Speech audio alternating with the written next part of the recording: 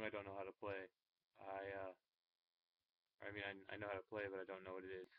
I found another way to play it, and I still don't know what it is. But it's only on one string, so I think it's kind of interesting.